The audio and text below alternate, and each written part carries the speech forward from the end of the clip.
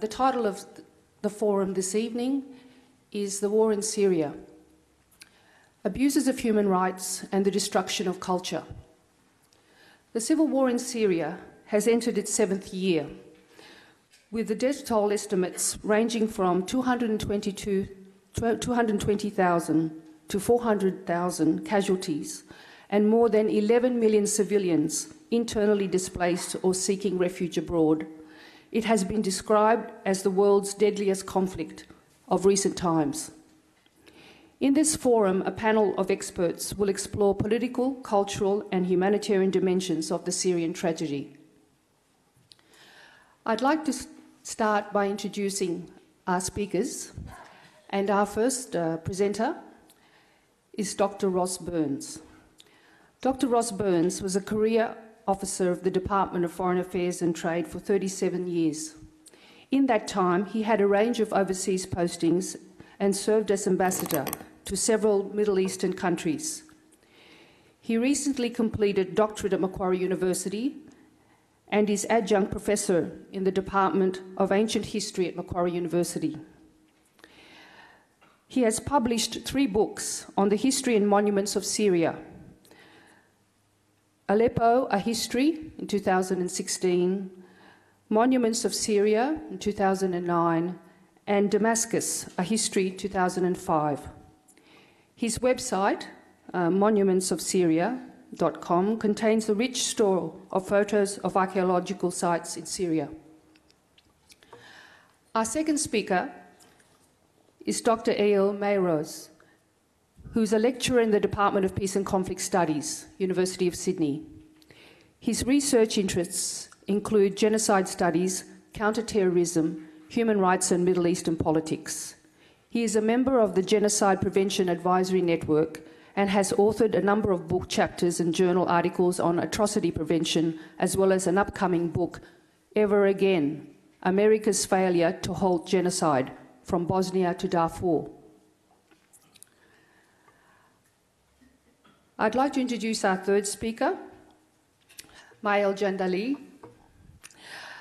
Malek was German born Syrian American composer and pianist. Malek uh, was grown up uh, in Syria, in the city of Homs, before leaving Syria to study music in America. He has spoken at Harvard University, Duke University, and the UN headquarters in New York City.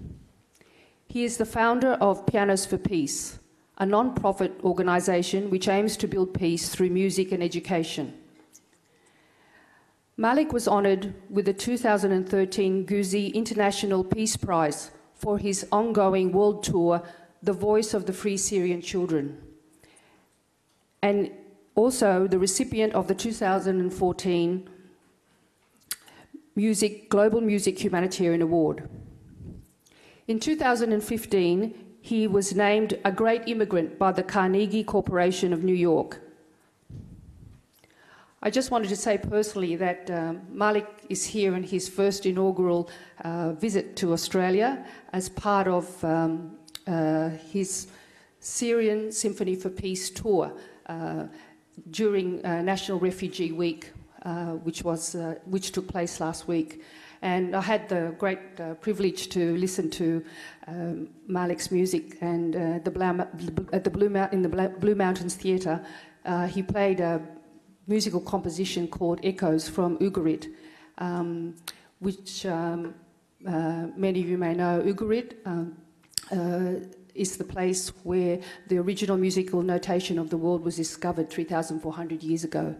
So um, we were very uh, inspired by um, this beautiful composition um, that Malek played in the Blue Mountains recently.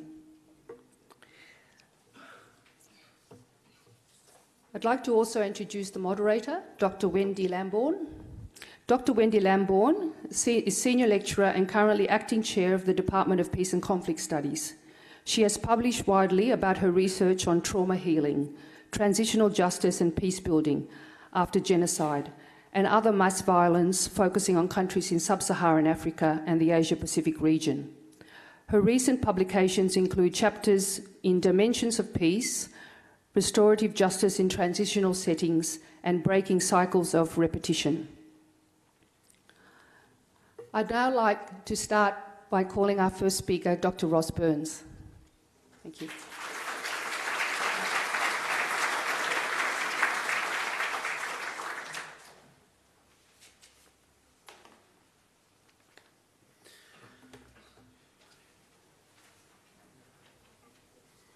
Sure how I get the PowerPoint. Oh, there it is. Okay, right.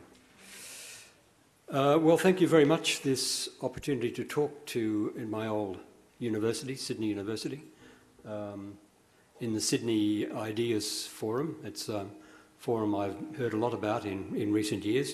I never quite understood what it was, but now I get a better impression up close. But uh, thank you very much to the organisers. And I think it's a great honour to have with us tonight Malek Jandali, who is a distinguished Syrian American composer. Um, and I, have heard a couple of his interviews or musical performances on, on Radio National in the last few days, and very, very impressed by what I've heard. So I think we're, I'm in distinguished company tonight, and I feel a bit humbled by, uh, by the occasion. But what I want to talk about tonight, I'm afraid, is, is bad news. It's what's been happening to the monuments of Syria. Uh, those of you who know me, and there are a few in the audience, um, might know that I wrote uh, 25 years ago, 20 years ago, um, no, 27 years ago, a book called Monuments of Syria, which has come out in three different editions, and in um, and luckily was revised just before the beginning of the crisis in Syria in 2011.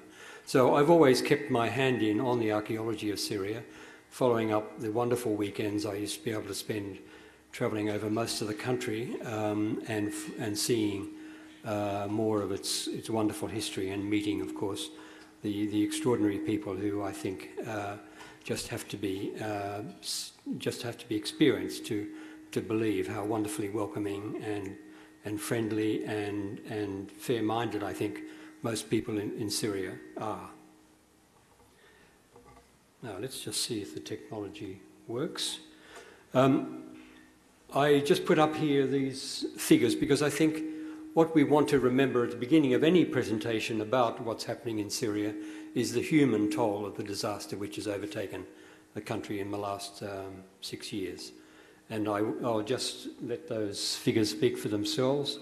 You'll see it's one of the most extraordinary uh, disastrous uh, conflicts of recent times, particularly as it's happening in a country which is so vital to, to many interests uh, in, in the Middle East and is the, caught in the nexus between so many different uh, cultural, religious, and ideological currents.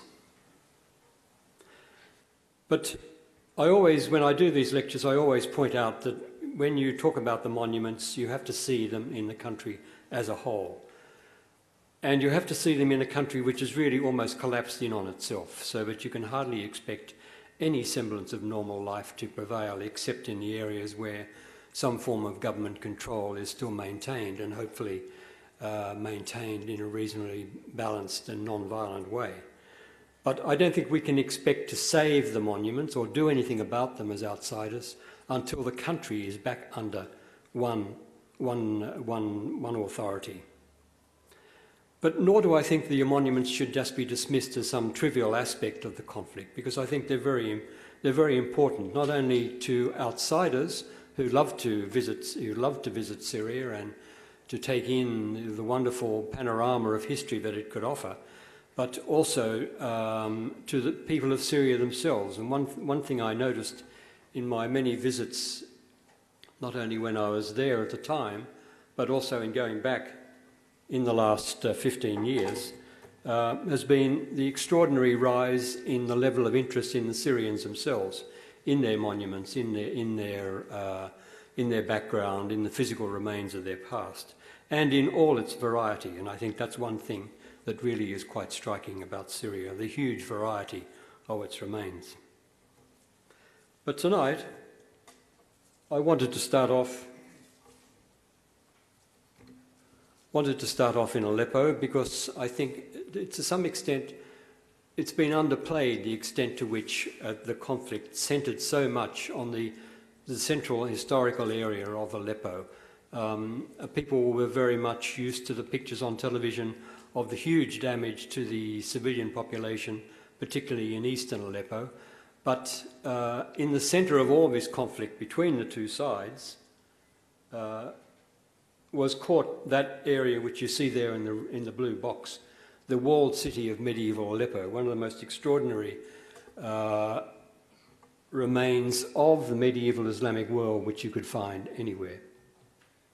Now, I won't go into the details, but this shows you the footprint of that blue box of the walled city on the, on the spread of the whole city. Aleppo is, the, is now known to be the largest city, in, or was before 2011, the largest city in Syria, uh, even though it's not the capital, but it's economically more important than Damascus. And it's spread in all directions from that central walled area.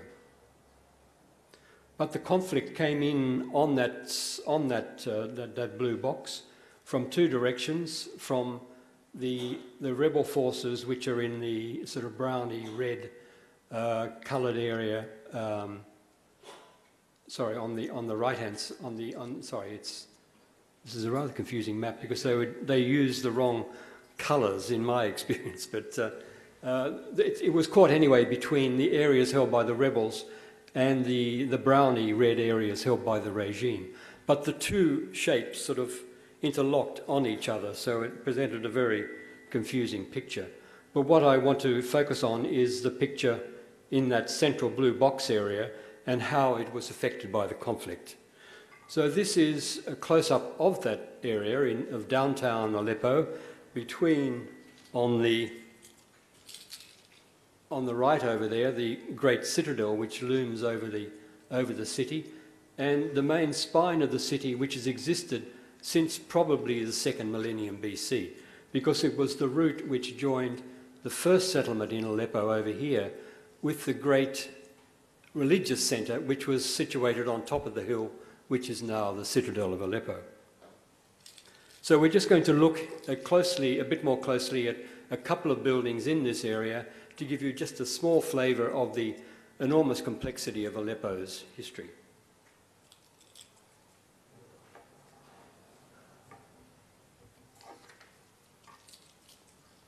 I'll just quickly flick up this map though because I think it gives you a very good impression of how partial the damage has been. You can see here, this is uh, the, uh, the UN satellite uh, tracking services map of conflict zones around Aleppo. Here is our blue box of the historic city.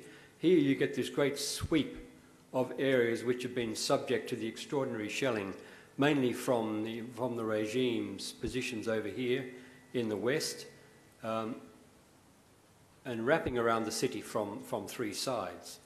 Uh, this area on the west here is where the civilian population who remained under, under the regime's control were concentrated for most of the last four or five years.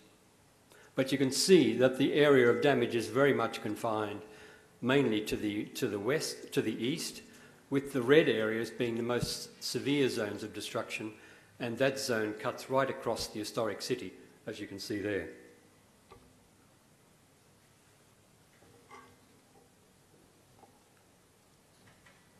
This is just highlighting those areas a bit more clearly for you. But let's focus first on the Aleppo citadel, which is the as I said, it was the original hill uh, which housed the first Bronze Age temple in the, uh, in the city, and the axis spread from that hill down here to the left uh, towards the river, and, and that axis became the, the axis of, the, of all the cities since then for the last uh, 5,000 years.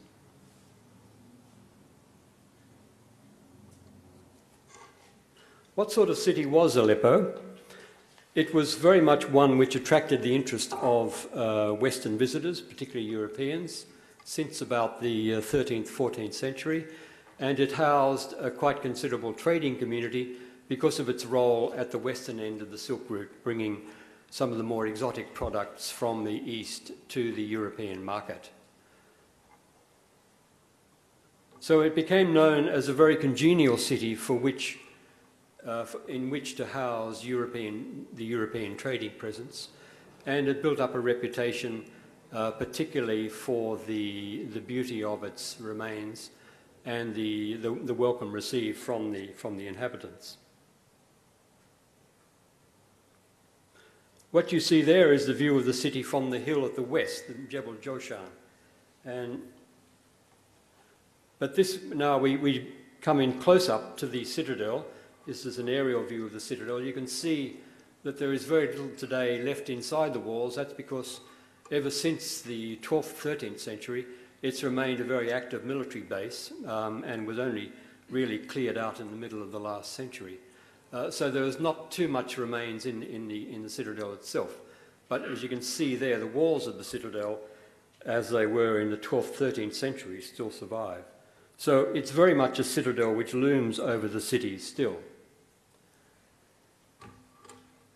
There you can see the, the main entrance to the citadel, in fact, the, the sole entrance to the citadel, with the great medieval walls and this enormous double gateway with the, the bridge in between.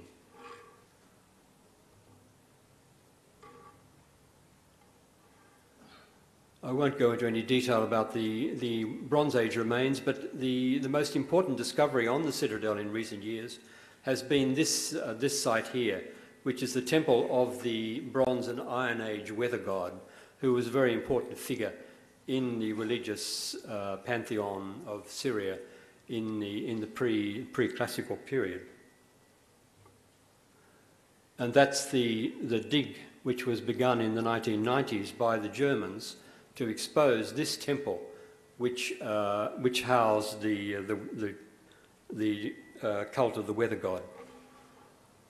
But let's return to that area in front of the great gateway to the citadel, because uh, for the first of our disaster uh, episodes tonight, I'd like to concentrate on that area, which has been very much central to the development of the historic city, particularly since the 12th century, when it became such an important bastion for the Islamic resistance to the Crusades.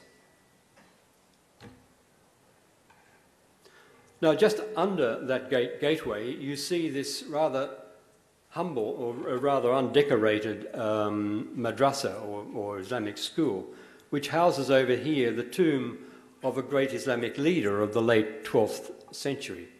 He happened to be a son of Saladin, and he was by far the most successful of Saladin's sons in setting up a principality under the, under the, uh, under the Ayyubid uh, reg- uh, realm, which spread from Egypt to, uh, to Syria and into northern Iraq. So his period of stability was very much the basis of much of the success of 12th, 13th century uh, Aleppo's architecture. But I'm afraid as the conflict developed here, you can see the lines of confrontation. What I've got here in the blue zone is the areas held by the regime, who maintained access to the citadel.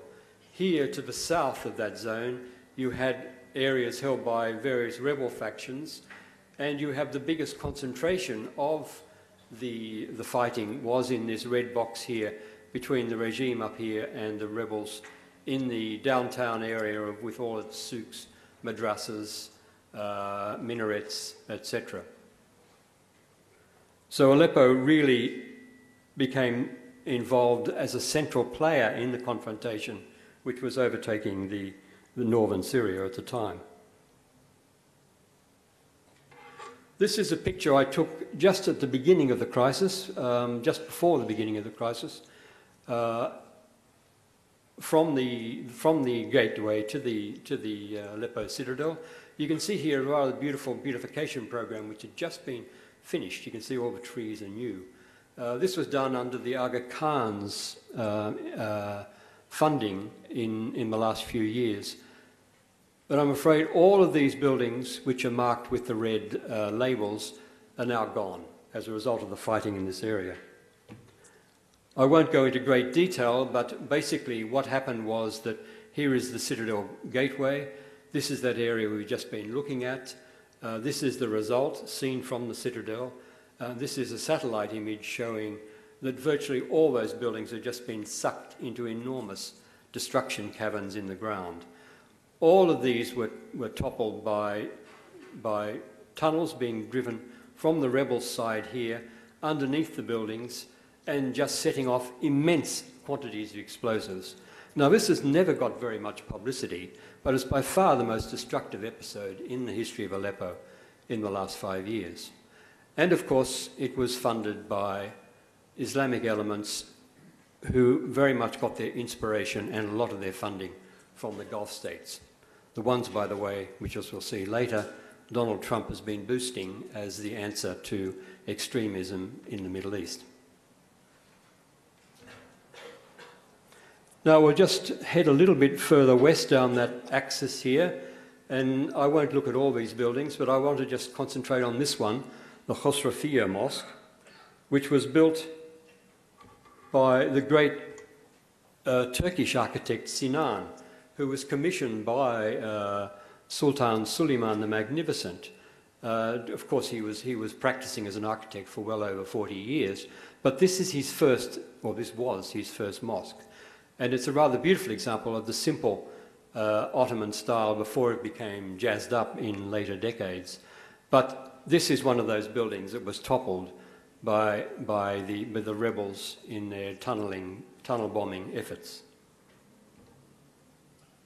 And that you see as a result. You can see how effective tunnel bombing is. It virtually leaves no stone upon another stone. It's turned to, to minute rubble and to a sort of powder. Now, the second area I want to look at quickly, if I can be permitted a little bit more time, uh, is the Great Mosque, because it's by far the most significant religious building in the city. Um, and you can see here in its splendour, it's right in the centre of that ax- axis between the citadel and, and the western walls and the river. But what I want to look at very briefly, oops, well, here we are what I want to look at of now have disappeared, but uh, I want to look particularly at the eastern side of the courtyard here, uh, which housed the, the mosque's uh, important collection of manuscripts, and this beautiful minaret, which is a late 11th century minaret just before the Crusades, constructed under the Seljuks when they were in control of the city, but in a style quite, quite different from the Seljuk style found today in Iran, Iraq, and in, uh, in Turkey. But I'm afraid it was toppled about a year, about six months or nine months into the conflict, and you can see there the rubble left by the remains of the, of the explosion. I, it's never been clarified whether it was blown up by the rebels or whether it was blown up by the regime because they wanted to take out a rebel position here which was firing into their positions on the, on the northern side of the city. But uh, certainly, I think the way it's fallen is probably an indication that it was taken out by tank fire, and that must mean the Syrian regime. Here is the other major area, area of damage, the library of the mosque. And that, that shows that area where the library is housed. That's what it was like before. And this shows a bit more from a different angle the remains of the minaret. Here, I won't go into detail, but this, this is, shows you the beautiful shape of the minaret, its towering height, and the extraordinary range of detailed decoration which, which uh, uh, was carried out at several levels. Uh, well, we've probably only got time now to just briefly look at this, but this is, this is a, a, a slide I've, I've, I've developed from my, I've, I think we've mentioned my website has a sort of a running cumulative list of damage to monuments in, in the conflict in Syria. Um, and this is, this is a table taken from the, the cumulative total of monuments that have been affected. I only use uh, visual evidence which is provided on the internet. Uh, I don't uh, I don't take postings from, I don't take reports from the media because they're often just repeating the same story and it's not necessarily being, being checked, nor, of course, is it possible in many places to, to check. But uh, it doesn't include a lot of other information about illegal digging, etc. But you can see there, I, my, I classify the monuments under five different levels of destruction, and this is the number of monuments which I think fall into those different levels in Aleppo, and just for point of comparison, over in, in Palmyra on the right, because these two cities are the two which have suffered most from the conflict in terms of the massive level of damage to, uh, to their historical fabric.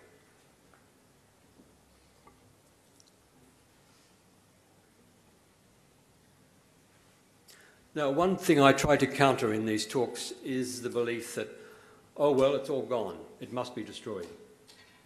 It hasn't all been destroyed, and one of the point of, the, of these figures is to show that the greater weight of buildings actually can be reconstructed reasonably easily uh, with the right skills and the right materials, and both of those are available in Syria.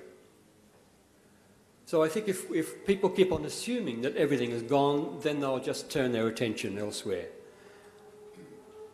It's often been the case that uh, the media or postings on the internet have described damage as being major or total destruction, when in fact the level of destruction is much more minor and is very partial and could be, uh, could be uh, repaired.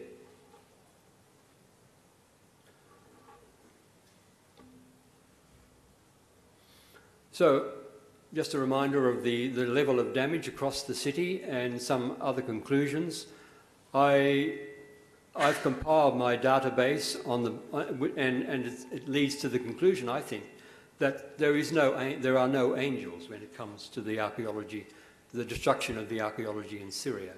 Some things can be attributed to the regime, but the regime has also done a lot to preserve sites and to take precautions to prevent uh, material being damaged.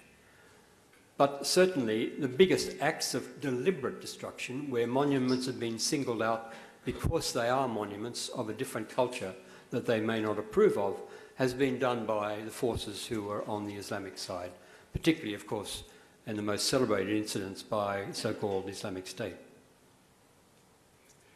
I think, too, it has to be remembered that Syria does have the skills base hopefully a high proportion of the people who used to work as masons and engineers and builders uh, would be available after the conflict is ended, and a quick start program to get some buildings back in, back in shape would, I think, be a, should be a major part of the reconstruction. What I think we should do as outsiders, though, is avoid doing anything which is going to make things worse. And I think a lot of things which have been said and done over the last six years, including some things which have been done for, with the best of intentions, uh, haven't been helpful and have fanned the conflict, given it more dimensions, uh, and, and allowed it to invite in even more external players. But I think it's been underestimated over the last five years the extent to which funding, particularly from the Gulf states, has contributed to the Islamic cause in Syria and given a, a proportion which has become entirely dangerous to the future of the country. So I won't go into any more detail, but just to say that this is Donald Trump, of course, on the visit to Riyadh, where he began to beat the drum about uh, how, how good the Saudis have been um, in countering Islamic extreme, extremism. And to that I can only say, fooey. uh, they have been a major cause of funding to the Islamist groups. The, the uh, Saudi Arabia is, is the sort of the, the, the, the seed of the whole idea of Islamic fundamentalism, which has taken hold of many movements uh, these days. But I think you're all aware of that. But I think what we should be doing is avoiding any impression that these tensions between Shia and Sunni, in particular, uh, as something which we can play a, a role in encouraging or resolving. Nothing could be more dangerous, I think. What I would like people to do is what's described in the last, or the postscript to my book, which is to reflect on buildings like this one. This is another beautiful Ayyubid building just outside Aleppo, uh, which commemorates Hussein. Now, of course, Hussein is very much favoured in the Shia tradition, not so much in the Sunni tradition, but uh, the Sunni rulers of Aleppo always managed to acknowledge the importance that the Shia community in the city attached to Hussein and to the whole, tradition on the, on the Shia side. And so this monument and another one nearby were very much uh, endowed by, by, the, uh, by the particularly of the, the regimes of the Mamluks and sorry the Ayyubids and the Mamluks, um, and that was the way these tensions were handled in, in centuries past. People may not have approved of Shiite traditions in a Sunni-dominated city like Aleppo, but they weren't going to make an issue of it. And that, I think, is what is the big lesson we should be taking from events at, at this time. Okay, I've probably taken up more time than I should, but uh, the rest we can leave for, for the uh, Q&A session at the end. Thank you.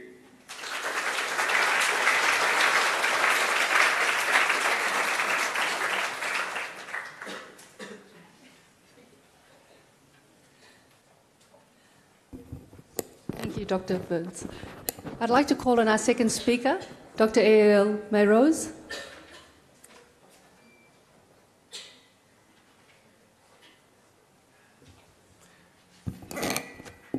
Good evening, and thank you, Ross, for a very interesting uh, presentation.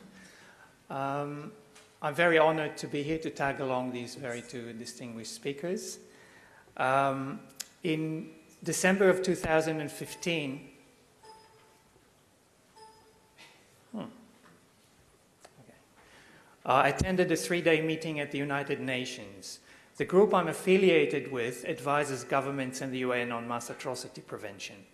And the, uh, the uh, meeting was uh, a few weeks after the beginning of the big, big chung with uh, the uh, Paris terrorist attack.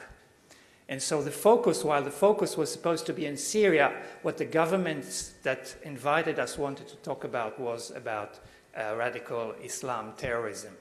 And on one hand, I understood that because of the connection to the to the uh, Paris attack. But on the other hand, having spent years trying to explain to myself and to others the reason behind the failure of the international community to stop or prevent genocide, the amount of political will and the amount of public interest that I suddenly saw coming out in relation to what was going on in Paris, compared to what I was so used to over the years in relation to Syria and other places, was just staggering. I was virtually sitting at the UN and feeling the eyes of hundreds of thousands of Syrians, of Sudanese, of, of Congolese, uh, looking at us and asking, why is the world that let them die is all of a sudden so concerned if, about a few more bodies? So before I proceed, I want to make three quick uh, arguments, which may sound quite simple, but that I think if we really uh, embed those in our minds, uh, the world could be different. And it's arguments about suffering. So the first argument is that there is no distinction whatsoever between French suffering, Syrian suffering, and for that purpose, Australian suffering. And the second argument is that there is no difference between Christian pain, Muslim pain, or Buddhist pain or Hindu pain. Suffering is suffering, and pain is pain. But I'd like to make a third argument about suffering, and that is that the, the uh, suffering caused by terrorism is no, difference to, no different to the suffering caused by war crimes or even by genocide. What is different are the uh, motives, the consequences, sometimes the scope, and often the responses of the international community to these crimes. So what I'm, I do not have much time, but what I wanted to do is to go through very quickly through a few uh, characteristics, uh, challenges, and, and mistakes being done in relation to the civil war in Syria, and then highlight some things in the areas that I'm uh, most interested in, and I hope that uh, we can maybe touch on other things uh, during the Q&A at the end. So, um, so after six years, the war has caused physical, societal, and cultural destruction in Syria. We saw the use of, uh, of uh, chemical weapons, A genocide has been perpetrated against minorities in both Syria and Iraq. And two ancillary, initially ancillary processes that were part of the war became the focus of the international community instead of the welfare of the Syrian people, and that's the, what we call global terrorism and the European refugee crisis. In terms of uh, challenges, I, I, wanted to highlight uh, three or four of those. Of course, the geostrategic power struggles uh, between both regional and global powers that was on the back of the Syrian people. The second are the sectarian dimension that Ross has mentioned. And the third is the uh, situation with the opposition, what started off as, as, a, as a grassroots secular movement uh, for reform very quickly turned into uh, a, a, an opposition that initially was cohesive but very soon splintered into more than 100 uh, groups. And this is just a snapshot of the, of the uh, geostrategic complexity that we see. Uh, US versus Russia, Saudi Arabia versus Iran on, on a regional basis, Turkey against the Kurds, everyone against ISIS, a whole, uh, a whole fiasco of very powerful interests that, again, uh, uh governments uh, pursue on the back of the Syrian people. Uh, I, I, singled out three major mistakes in my view. Uh, some of them are being often mentioned, others may not be as often mentioned, uh, in relation to how the UN and the international community dealt with the uh, crisis. The first, of course, is the insistence on regime change, which came initially from the rebel groups in, in, from, with support from the, uh, from the Arab League and acquiescence by the United Nations, by the Security Council. And I, I can empathize with the feeling, but on the other hand, to put such a demand as a precondition for uh, peace negotiations just put the regime in a corner where there was no other alternative other than to fight. So that was a big mistake, and I recently uh, talked to a very senior UN officials about it, and he agreed that that was the case.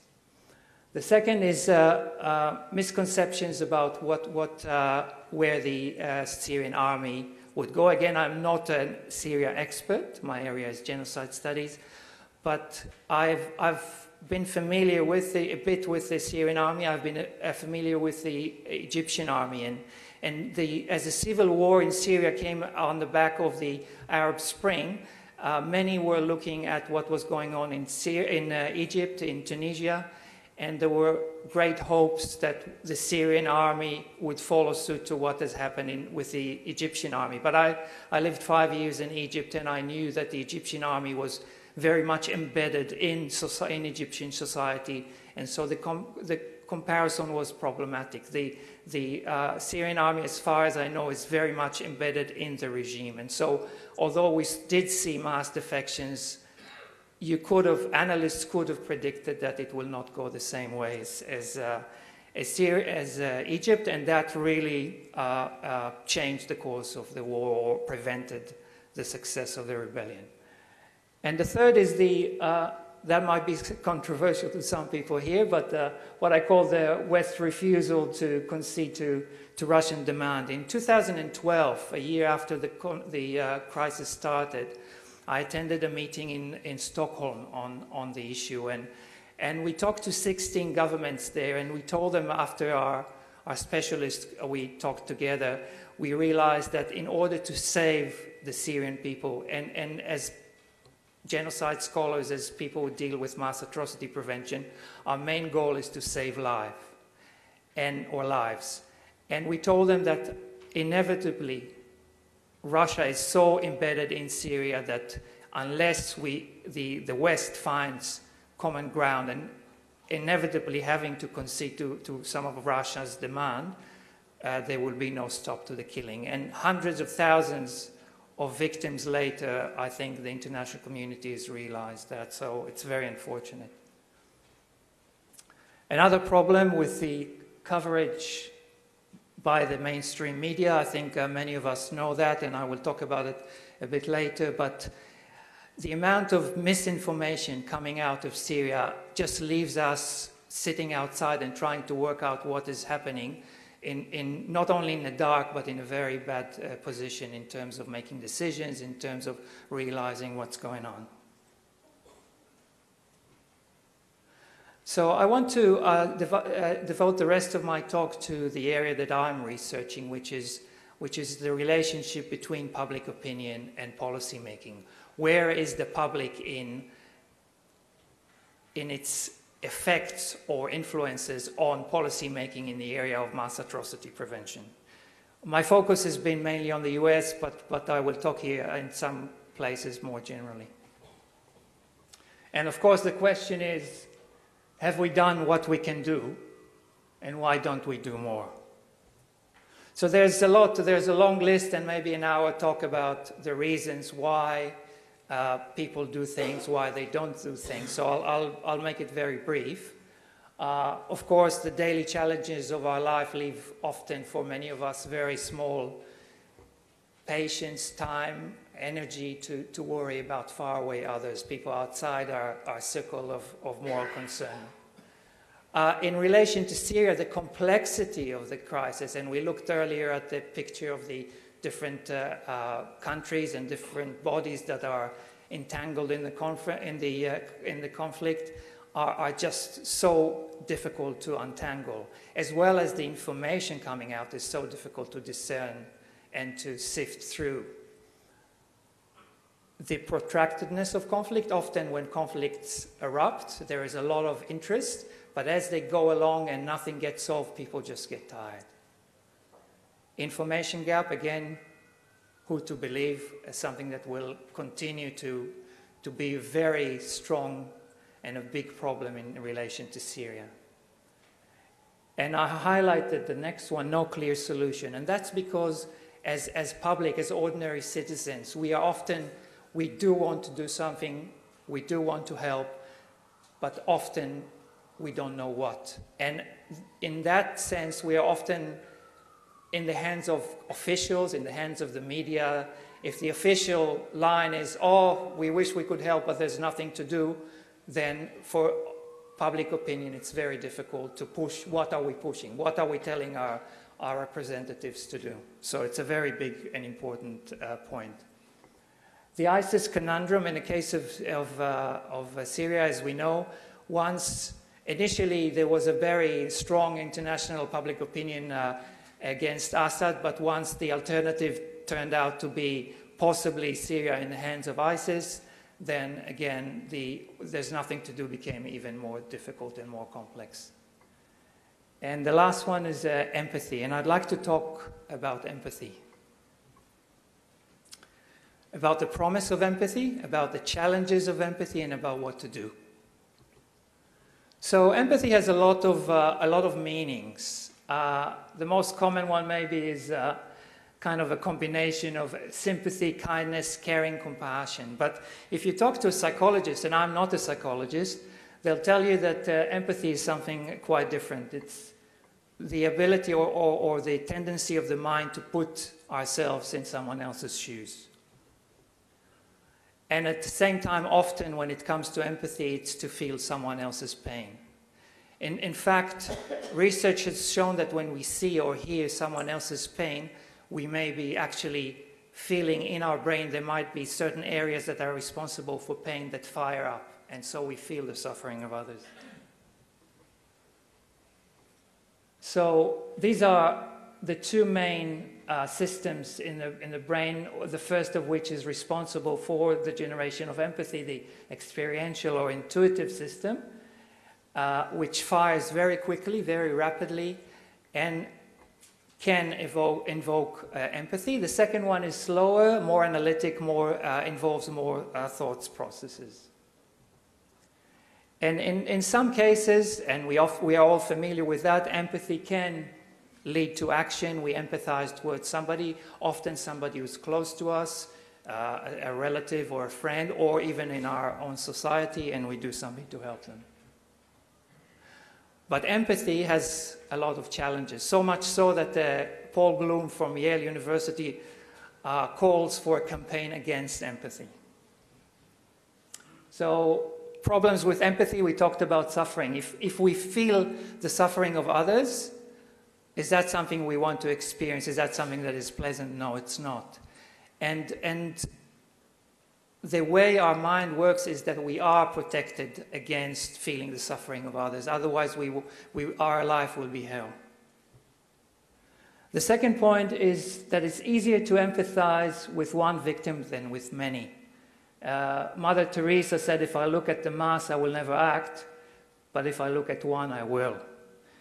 Another great humanitarian, uh, Joseph Stalin, said that one death is a tragedy and one million is a statistics. And indeed, our research has shown that uh, our ability to empathize with the many is, is very problematic.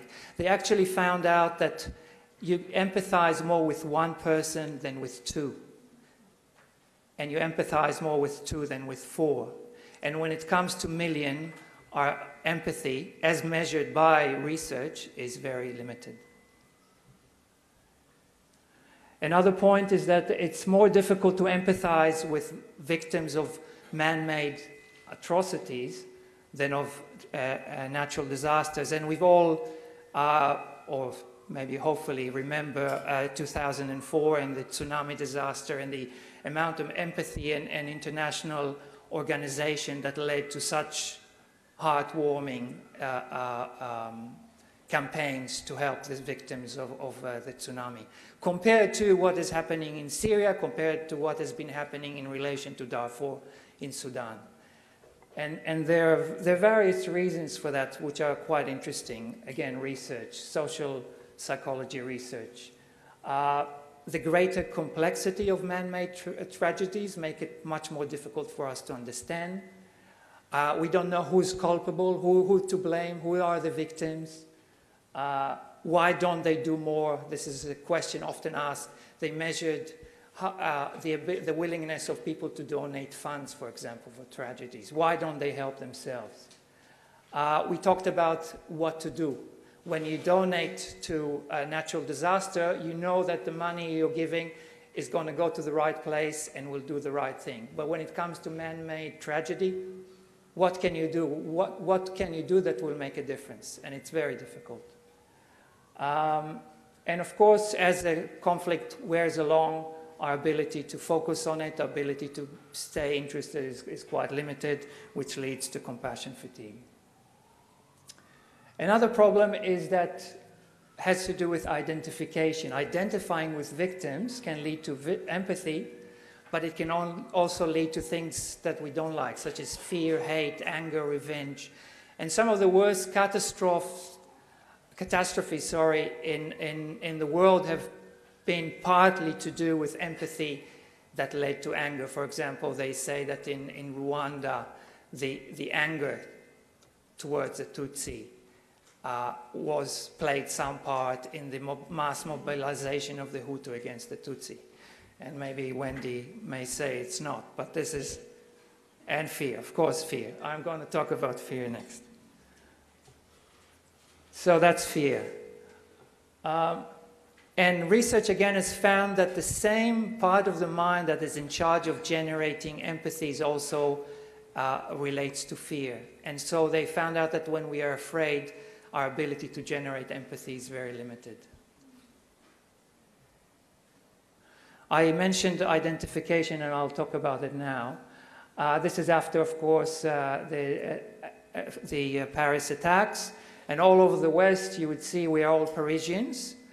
Uh, just to mention that in the same year, there were three, at least three, even more major terrorist attacks in Ankara, in Beirut, and in Kenya that uh, we didn't see these signs anywhere. So empathy has to do with identifying with the victims. And in the case of fear, all of a sudden, when we hear about here in Australia about Syria, then we are we may be bystanders. But when we hear about Paris, we are all of a sudden potential victims. It could have been us, or it could be us tomorrow, or next month, or next year. And indeed, identification is influenced by, by a number of, of uh, you know, causes, physical, emotional, cultural, religious, uh, ethnicity, skin color, language, in group or out group, a whole range of things that influence how and to what extent we identify with others. And then we talk about the empathy conundrum, where the people that often need our help the most are the people, especially in the West, are the people we identify the least with. And so low identification often leads to indifference and to inaction. Now, there's been many attempts to solve the Syrian crisis. And I don't have any, any magic uh, bullet here, but uh, just some points to think about mainly in terms of, of us citizens. The first thing is to do with uh, information. We are fed continuously by a range of sources of information. Some, I'm not saying that they, that they lie, but a lot of them are coming from a certain interest and they highlight certain things and they may be hiding certain or ignoring certain other things. So, in terms of us trying to make sense of what is happening, I encourage us all to be very discriminative about the information that we are exposed to and asking the right questions and see what, what is missing from the picture. Because if we know what is happening, it is easier to think or, or form an opinion and to know what can be done, what can't be done.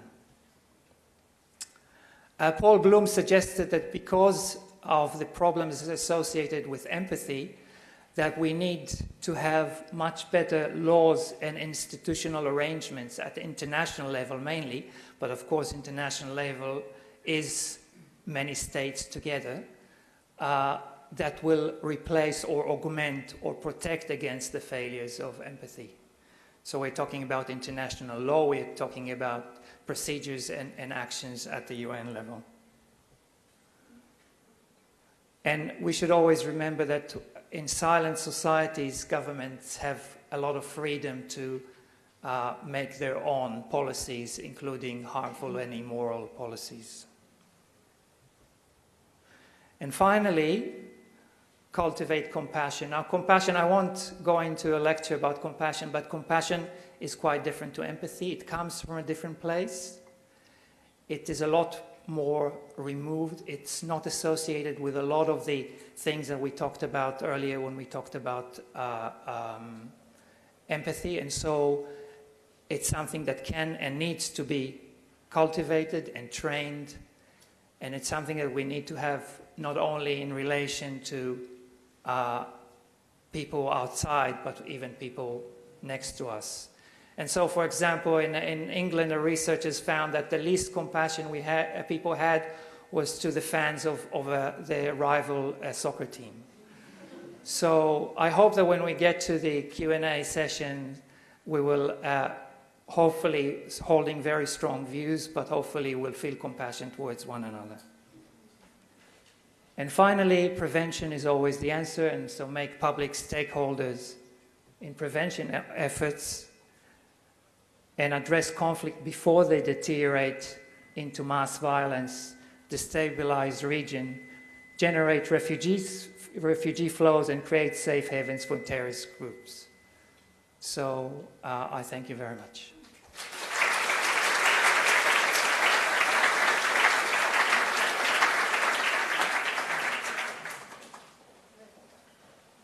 Thank you, Ariel.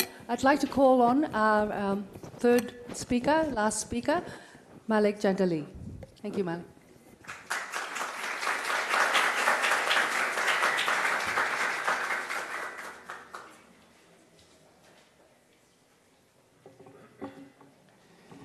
Salam, peace, and shalom. My name is Malek Jandali, and I'm the only Syrian on the panel. And I would like to uh, clarify a couple of points. I don't belong to any organization or a political party, except my own organization, Pianos for Peace. and uh, I'm a musician on a mission, and I would like to start my portion with the video, please. And if you please turn off the lights, or lower them, dim the lights a little bit.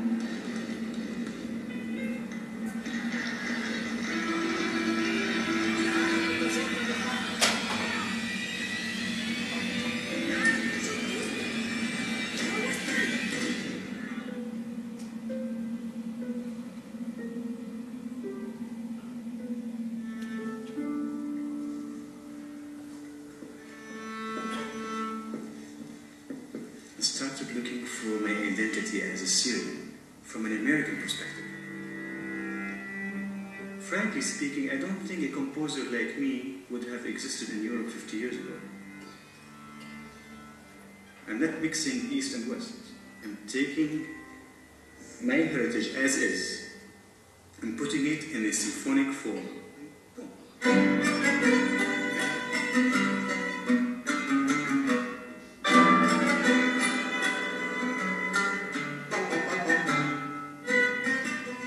I have never played classical music in 10-8. That gives you the sophistication and the level of intellect that composers in the Levant had before the dictatorships. Coming from coming from 49. I met Mani Jandali in 1992 uh, at the Music Academy in Damascus. Okay. This is a genius guy, smart, and he has enough energy. If he activated, will really change our cycles, our time to different dimensions, specifically in the Middle East.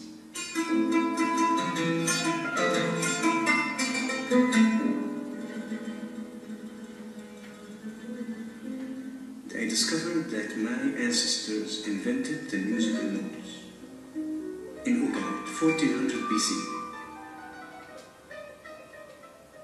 Just a few years ago, before the revolution, I went to Syria to present my project, Echoes from Ugarit, and they blocked me. I was forced to meet with the dictator, commander in chief, to give me the green light to perform music.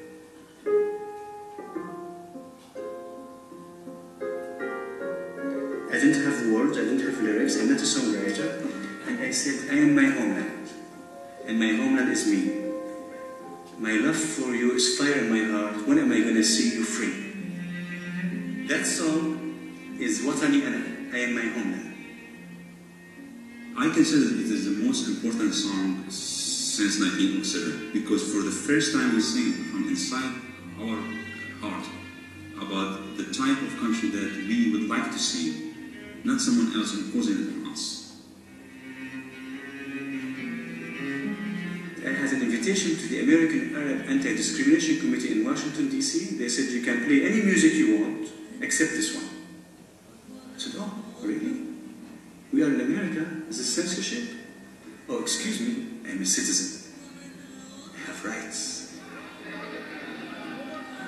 Banned Watani Ana and my song in Washington, D.C., we managed as a community to organize an event a few steps from the White House. And I premiered my song, Watani Ana.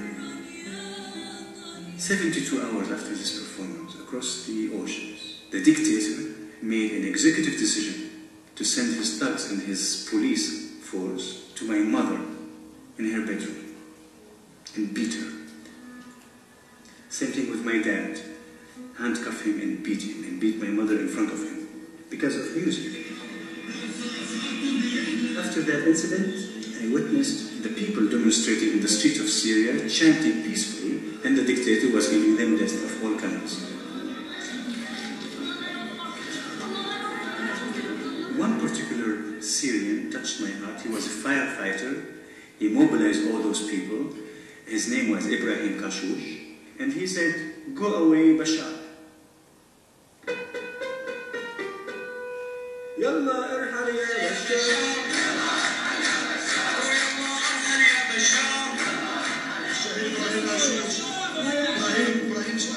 heard that they killed Qashoush. They cut his neck and removed his tongue. Malek heard about that story and then wrote his, his uh, part of his symphony about it and called it uh, Qashoush Symphony.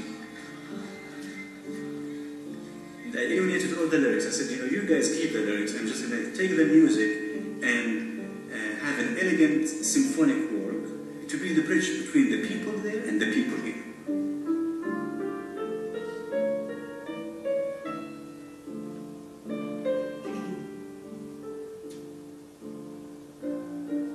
I used to play Mozart and I played the piano concerto of Tchaikovsky, but I didn't really realize firsthand the power of music.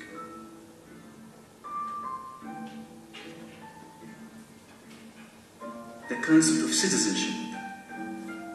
You know, uh, to you it's, it's norm, but in the Arab world or in the Middle East, they are no citizens.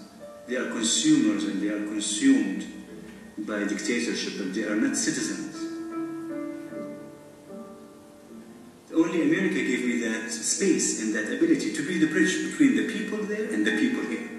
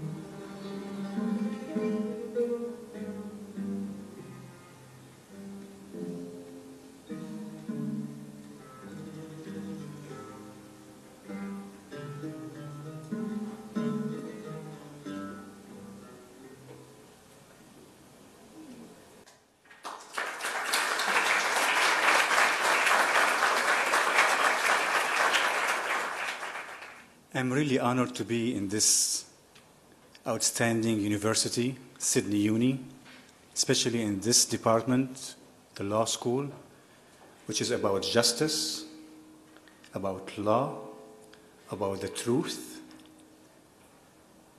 and about seeking information.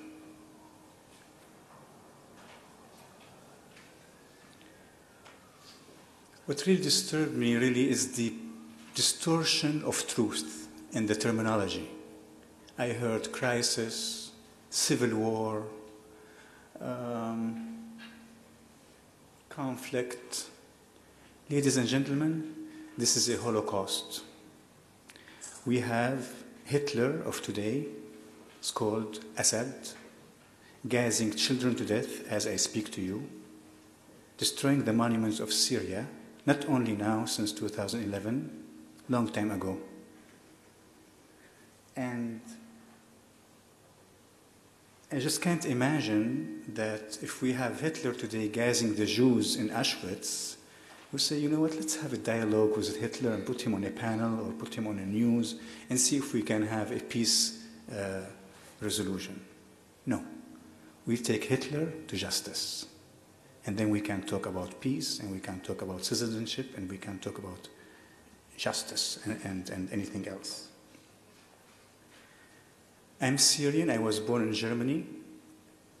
And when I moved to Syria, when I was six years old, I had this cultural shock when I went to school because every school I went had the portrait of Assad. In the school, in the music school, in the theater, in the library, in the mosque, everywhere. I mean, even the images that the professor had of the mosques had Assad on them because he is more important than God, which is shameful. Can you imagine the church like St. Mary? Here you have like the prime minister on the bell. It's funny, but that's what we have. That's what we have. And when I was in Syria, after singing the national anthem that doesn't mention Syria, I was forced to say the following statement, and now I'm having difficulty saying it, but I have to tell you. I was forced every morning at 7:32 after singing the national anthem to say the following statement. Would you please close your eyes so I can just tell you what it is? Just close your eyes so you can digest those ugly words. I sacrifice my blood and my soul to Assad. Not to God, not to Jesus, not to Moses. I sacrifice my blood and my soul to Assad every morning. In the afternoon, I go to my papa, you've seen, a surgeon who studied in Vienna, and my mother, a physics and chemistry teacher, and they tell me, shut up, we don't want to hear this. Assad is not a good guy.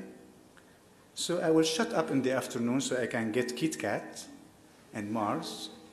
So I lied to my parents. I was rewarded for being a liar in the afternoon at home. In the morning, I go to my religion teacher, to my physics teacher, to my music teacher.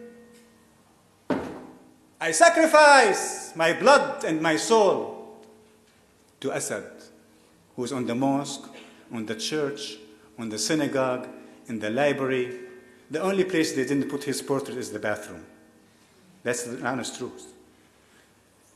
So the more you lie, the more rewarded. That's when you become a minister of culture.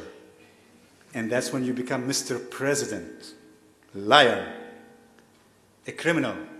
When I met the Minister of Culture of Syria in 2010, before the crisis, and I told him I have a project about the oldest music notation in the world from my home country, Syria. He has never heard about it. When I presented him this replica that I made, he asked me, Is this the real one? I said, No, you moron. The real one is in the museum. This is not the real one. That's how stupid leaders are. Going to the army, one of the suggestions from one of the panelists was loyalty to the Syrian army. Ladies and gentlemen, there is no Syrian army. Because remember when I have been brainwashed, I sacrificed my blood and my soul to Assad. The Syrian army today, after 50, 60 years of dictatorship, they put tattoos Assad or we burn Syria. That's the slogan of this army.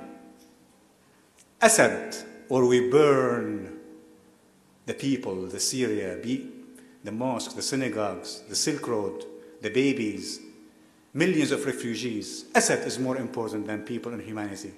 And that's, can you imagine? Airplanes going. To destroy an entire city like Aleppo takes an army.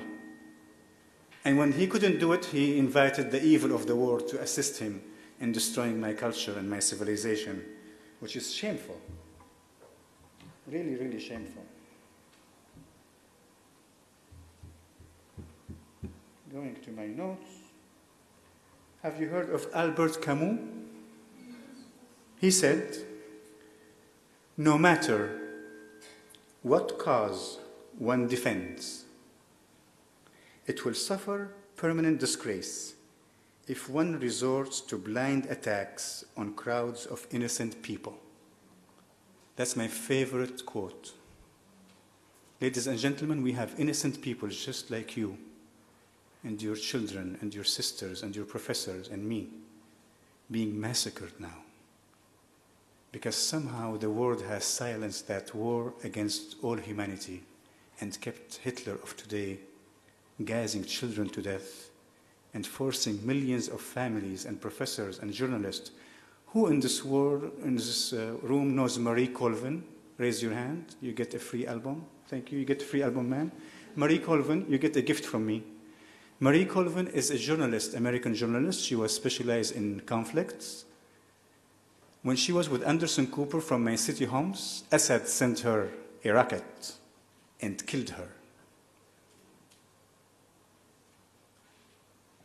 One is way too many. He killed her because he doesn't want to have reliable information. No journalists. The most number of journalists killed by Assad and his regime was in Syria and the world in the last two years. Babies, professors, my mother. We have a student from uh, Sydney University here. His father was shot by Assad in a peaceful demonstration in Homs. He is here among us. He was volunteering to sell some of my CDs. Where are you? Please stand up. Another witness from Homs. His father is just shot during a peaceful demonstration. Um,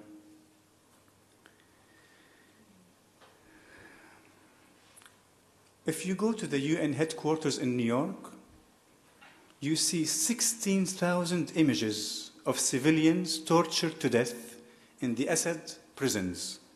Not in ISIS, and not in Russian regimes, and not in Lebanon, and not in all these distortion, distortion news.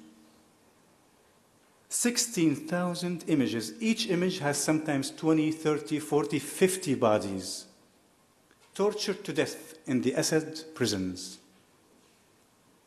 Samantha Power goes in, Ban Ki moon, your UN ambassador, everybody was forced to see these images, and nothing happened.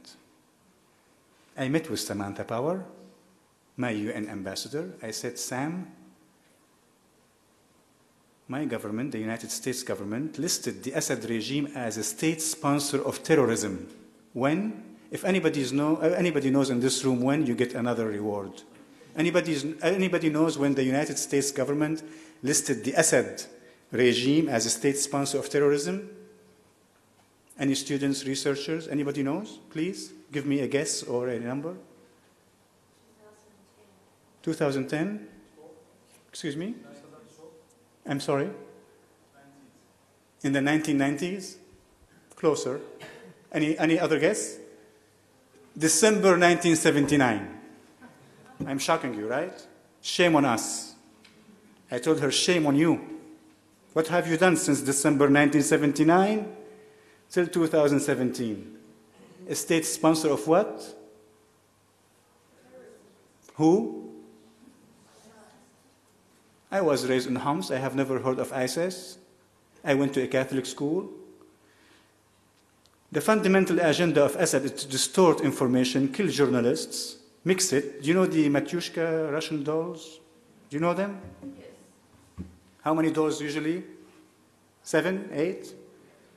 Tuk, tuk, tuk, tuk, tuk. You know, ISIS, this, this, Shia, Alawite, blah, blah, blah, blue, blue, blah, blah, blah, blah. But what is the first fundamental cause of the whole thing? Hitler, Assad of today. We never heard of Shia conflict. None of the mosques and synagogues have been destroyed in the last 5,000 years. All of a sudden, we have total destruction. The Syrian people just went crazy on, on, on, on, March 2011. They just all went crazy and they want to go to the Mediterranean Sea and swim. That, does that make, make sense? They were facing evil. They said, We don't want to be violent. Let's go to the ocean and drown. Resting in peace rather than living in peace. They're drowning because they don't want to be part of this ugly reality. This is how peaceful the Syrian people are. My mother was in her bedroom. Can you imagine? One story about a Syrian child was in a, an operation room facing the doctors in what we call hospitals, similar to the hospital that your father went and they couldn't treat. They refused to treat his father because it was a law in Syria by the Hitler dictator. If you are in a demonstration and you got shot by the, by the police, you cannot be treated in any hospital. It's a law. You should go and die. They treated him in one of the houses. This little baby was on an operating room in one of the refugee camps. Looking up, this is a true story, basically dying from the wounds of injustice. Ladies and gentlemen, let's preserve our humanity about truth, justice. We are in a law school. Please don't fall into those traps of distortion and destruction. And let's, let's discuss the fundamental human values of justice and freedom this baby kid was looking up, dying. The last thing he told the doctor, I'm going to tell God everything. And he died. Are we telling God everything? That story inspires me to keep going despite all the ugly events that I see. And, and I failed to give him a voice. Everywhere I go, I see this immense efforts to silence him. What did he do? A seven year old baby. What did he do? Was he in a political party? Was he discussing politics? The minute I discuss Assad, they tell me, oh, you are political. I don't belong to a political party, neither that baby. I am discussing a fundamental moral duty. The minute a bullet went to the head of these children in a peaceful demonstration, that doesn't become any political and all these distortions. This is a moral duty. This is a war against all humanity. All humanity, students and researchers, I urge you to write the truth. Where are your books? I heard there's a book here about Assad from this university. Shame on you. Where is the book about the baby? Where is the book about truth? This is the this is the academic of justice and law, right? Go find the truth. Search for it and tell God everything.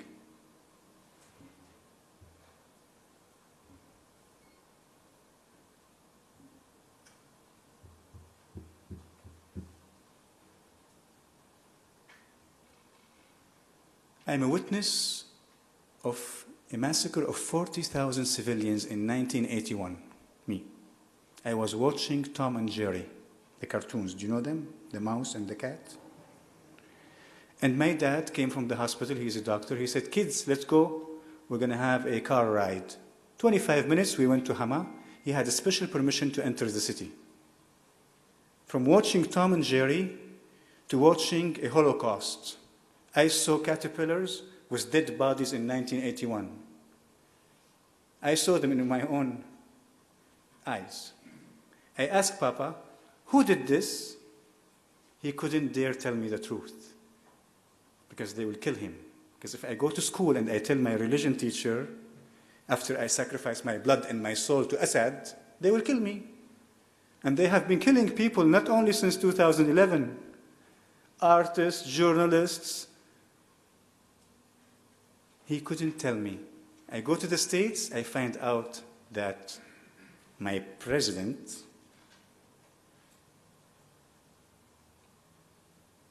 killed 40,000 people in one week. And they call him president. President of what? President of shame? President of war, crimes against all humanity?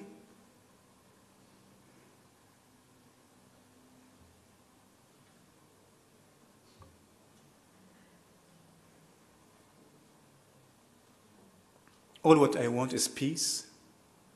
I can suggest one solution. I'm not a politician, but I might be maybe crazy. But here's the solution very simple. The Syrian people, who are now half of them refugees, million plus dead, killed, and another 11 million displaced inside Syria, those are the Syrian people. And you have one student here. The Syrian people, like you, minus dictatorship, which is Assad and his gang and whoever he brought along. I'm not going to talk about proxy war and all that stuff, but that's the evil of the world, head by this dictator. The Syrian people minus Assad equals peace. Very simple. Get rid of that fundamental cause of terrorism since 1979. Let the people struggle and go crazy maybe for five, seven years, but they're not going to destroy Aleppo because the Syrian people never destroyed any synagogues or mosques or churches. Never. The Muslims never destroyed mosques or the Silk Road or synagogues. Never. That's why we still have them standing until March 2011. That's the proof. All of a sudden, we have a, a brutal dictator destroying my identity and my culture, and he wants to actually destroy the beauty of our diversification. The Syrian people don't need to go to Sydney Uni and learn about tolerance or diversity. You can see an ignorant Syrian in Homs or Aleppo who never went to school. He said, Oh, this synagogue is my synagogue. And this church is in my neighborhood. This is my neighborhood, my church. And this is mosque. He doesn't differentiate because that's his identity by organic fact on the ground. It's part of his neighborhood. The synagogue is part of his neighborhood. And in my music, I take that music, I have an example that I just displayed on ABC. You hear the same tune in the synagogue with Hebrew or any other language, sometimes Arabic. You hear it in Assyrian or Aramaic in some of the churches where Jesus Christ was one day. Can you imagine? Has been destroyed. And you hear it in the mosque and you hear it on public transportation, the same tune. The music unites everyone. I think this is my presentation. All what I hope for is peace. I don't belong to any political party. I'm giving you facts, not opinions. I urge you to search for beauty and truth and don't be distorted by all this fake news. And I want to end my segment with one question. Is there anybody here in this room that supports Assad? Raise your hand. Seriously, I just I'm curious. Anybody in this room that supports Assad? Anybody here in the room that supports the Syrian people? Raise your hand. Thank you. The Syrian people, regardless of their religion and age and ethnic groups, please be a human. The Syrian people need your support.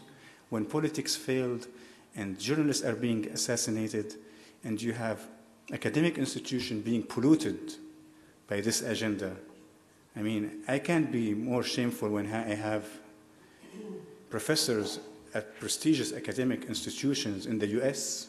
I've seen it in my own eyes. In Europe, journalists. One story I have a journalist in Spain. The Queen of Spain came to my concert, and I had a little interview, and I have an interpreter. And the journalist, the Spanish journalist, asked me, What is going on in Syria? I said, Oh, it's very simple. We have a dictator killing the children. The interpreter said, We have a problem and children are dying. See? The, see the terminology, students and researchers? I said, No, we have a dictator killing the children. She said, Problemo, and, and kids are dying. Two times. I said, Ma'am, dictator, problemo. Dictator, problemo. I said, Now it's a problemo, no more interview. Please pay attention to those terminologies. Crisis, civil war. Civil war of what? Have you seen like a civil war of clashes? It's, it's, it's, it's not a civil war. Migrants, I went to Oxford University and they said the effect of migrants on Europe. Migrant, I have never heard the term migrant in my life. I heard refugees, immigrants. Uh, I opened the dictionary, uh, the, the Oxford Dictionary, migrant, migrant, migrant, before my panel, like I was doing today. Number one, the definition of migrant an animal migrating, usually a bird. An animal migrating? That's the definition of migrant in the dictionary of Oxford, not me. Number two, a seasonal worker looking for a job. Seriously? I learned that the baby that you saw on the shores and the people who are drowning in the Mediterranean are animals and seasonal workers? Shame on us to accept these terminologies. Those are humans. Babies are humans, ladies and gentlemen. This is a crime against all humanity, and if we don't stand up with our common share of humanity as humans, as Australians, as Americans, look what we, what we have in the White House. It's our results we need to protect ourselves because if we don't, we're going to face ugly times. I thank you for your humanity. I thank you for your time, which is the most valuable asset you have. I'm honored to be here. and I have only seen kindness and hospitality, especially after my Sydney Opera House a couple of days ago. Thank you from the bottom of my heart on behalf of the Syrian children and peace.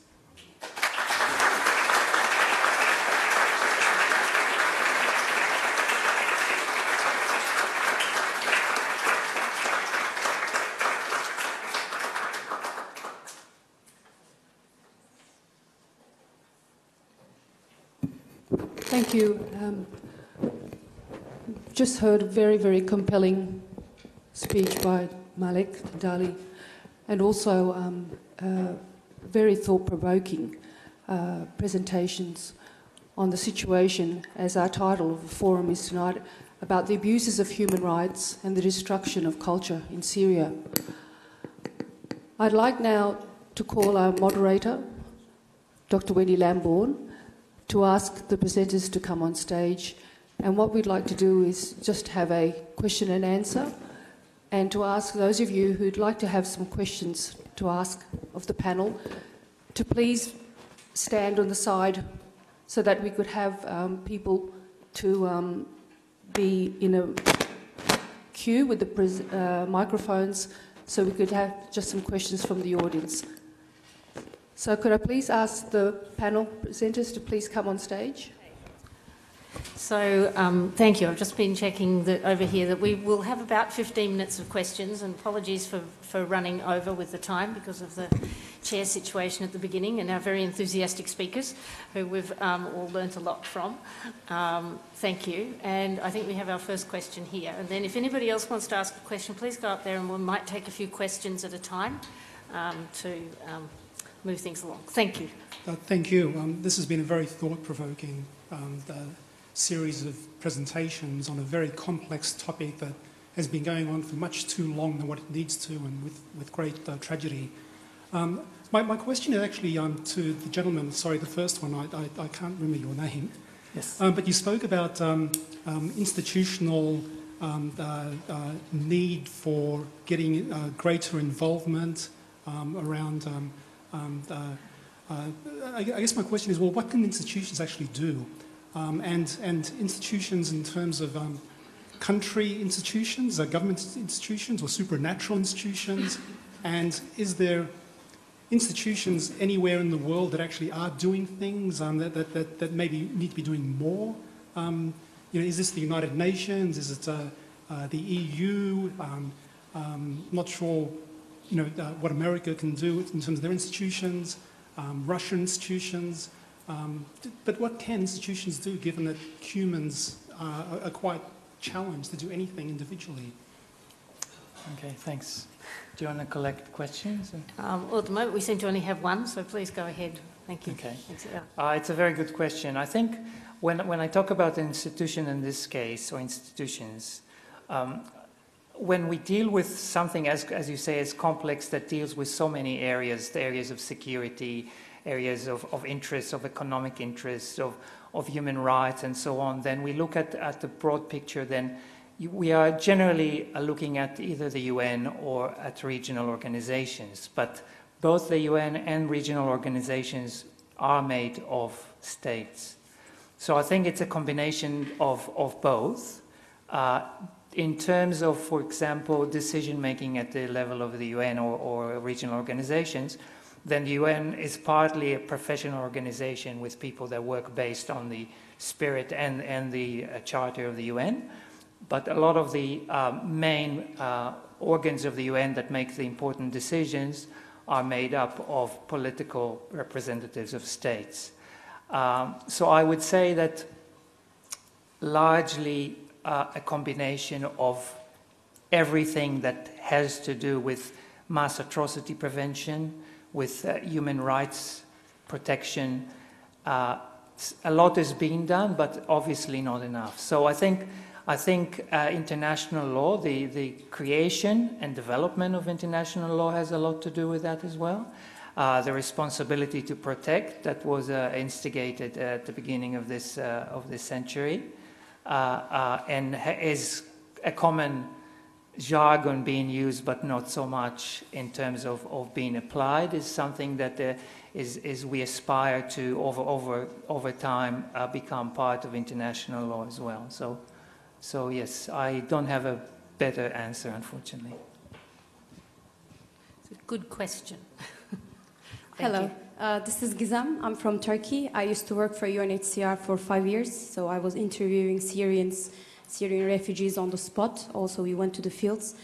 Um, especially while we were leaving, we saw that there are huge preservation, uh, reservations towards uh, the refugee influx, and especially due to the how can I, xenophobia, Islamophobia.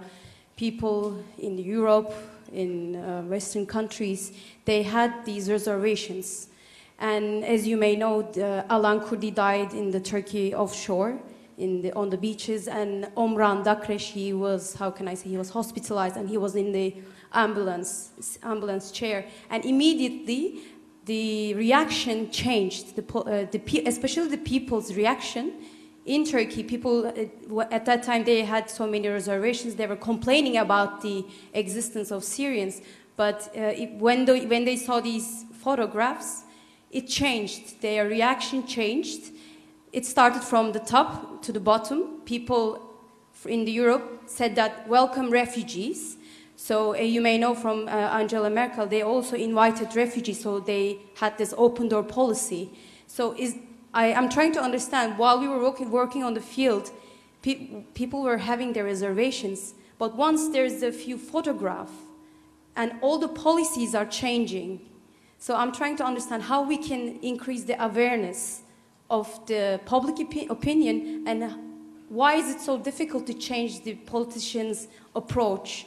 Because you know Trump's policy, current policy is not so friendly towards the refugees, towards the immigrants, and especially these seven um, countries listed. Thank you. Thank you. Is there any particular person you're asking the question to, or just? Mine is a little bit more towards the uh, Dr. Eyal's um, speech because I really found his, um, how can I say, explanations really to the point. Uh, you were trying to, how can I say, explain the, I I don't want to say hypocrisy, but people are praying more sympathy towards the deaths in Europe, but they're not paying too much attention to the, how can I say, crisis in Syria. And now it's not just Syria. We have the problems in Iraq. There are people suffering in Iran due to the regime. So I'm trying to, yeah, I would like to get your opinions. Thank you so much. Thank you. Thank you for a good question. Um, I don't think that anyone in this room would have been here if they didn't feel very strongly about uh, such issues. But if you look at the at the general, at what we call the general public or mass opinion, it's often not very representative of what we have here. So, for example, the Syrian conflict in 2011 uh, attracted 12% of the American people in terms of following the news uh, when you know hundreds of thousands of people are being massacred. People are so, on one hand, protected by their own mental, you know, me- protection mechanisms, and on the other hand, so preoccupied with their lives that people outside our immediate uh, uh, moral concerns are often neglected. So I think, I think uh, the story of Alan Kurdi did make headlines, did make, uh, you know, I think in Canada they had some legislation uh, put in place after the story uh, broke out. It's just an example of how, how we can empathize with children, I think as Malek mentioned, the, the personal story of children, but how difficult it is to translate the story of one child into uh, our willingness to mobilize for something, especially if the situation is so problematic, so difficult. And when it comes to our politician, which I think is the second part of your question, polit- politicians are trained, and I I don't want to make generalization, but politicians are trained to think of serving their own, the interests of their own people as they perceive it, and I'm talking about democracies, not about Syria, uh, as a moral duty. So then the question is how do you prioritize the welfare of the Australian people over the welfare of the or the protection of the Syrian people? And politicians are not, unfortunately, many of them are not very good at that. There are exceptions, and when I meet with policymakers, I find amazing people who chose to work in this area and who need help to convince their governments, but governments will always work based on interests, based on political calculations. And that's why I think it's important to make such a change in public opinion because politicians would listen to public opinion. But I also tried to explain why it's so difficult to change public opinion. I hope it's a good answer. Thank you. Um, and did you want to make a comment on that one? I have, I have a comment. I have a question. Do you know who stopped the Vietnam War in the U.S.? Who stopped the Vietnam War? Anybody knows? Huh? Yeah, but in particular, in particular, one picture and the students of universities. One picture and the students. I truly believe academic institutions and students are the solution. And that's why the Assad propaganda, in my example of Syria, is having a global, global agenda to pollute and distort truth in academic institutions. I have seen it in my own eyes. I was almost banned from Columbia University in the United States in, in, in New York. Can you imagine? Did you see that video I showed today? That was almost banned at Columbia University, at an academic institution. I canceled my concert in order to show this video because they accused me of being political. Um, so I truly believe academic institutions are the key, and the evil of the world and the dictators have, have that in their calculation. They know how effective students are, and they know how art. That's why they brought the entire orchestra to Palmyra. Remember when they liberated, quote unquote, Palmyra? What did they do? Anybody knows? You get a gift? do you know what they did? Huh? Yes, yes, please orchestra. They destroy Aleppo, they bomb the whole thing, and then they bring the orchestra. Look how civilized we are. The Russian and the Assad government.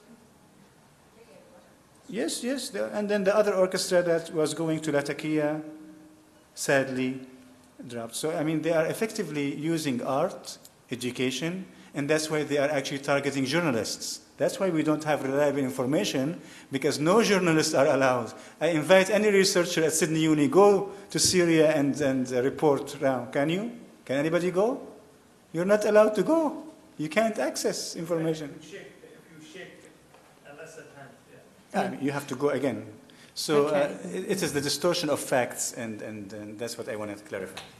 Yeah, thank you. Um, so we have two, two people standing up here with questions. Yes. So can I ask you both, and thank you for the second questioner for reminding me that I forgot at the beginning, to ask you please just to say quickly your name and your affiliation if you have one. And if you could both ask your questions, and then we'll go to um, having um, the answers from whoever is appropriate. Thank you. Uh, and to hi. make it as, as, pointed to the question as possible. Thank you. Okay. Um, hi, my name is Karen. Um, I work for a small NGO, growing NGO, called the Organization for World Peace. I've toyed with the idea of music for peace for a long time. I'm very taken aback. I think it's amazing. Um, I guess my question is basically how did you kind of get the idea? Did it come from the fact that you could hear the same kind of melody in a few different places from a few different kind of regions or religions or something like that? Because I've noticed that myself my background's Serbian. Uh, we have a lot of Turkish influence, Middle Eastern influence, European influence in our music. So yeah, I guess that's my question. Just kind of where did it come from? How did you kind of get to this point? Okay. Thank you. Thanks for the question. Thank you. Um, my, uh, I've got uh, two small questions. Uh, the first one is for Eyal and um, uh, particularly uh, Malek. Um, and your name and affiliation, sorry. Oh, my name is uh, Aimé. I'm a PhD student in uh, post-war reconstruction. So, uh, so my question to you, Malek, and possibly Eyal, if I could also assist, um, it's to do with the scenarios. Yeah? So we are in 2017.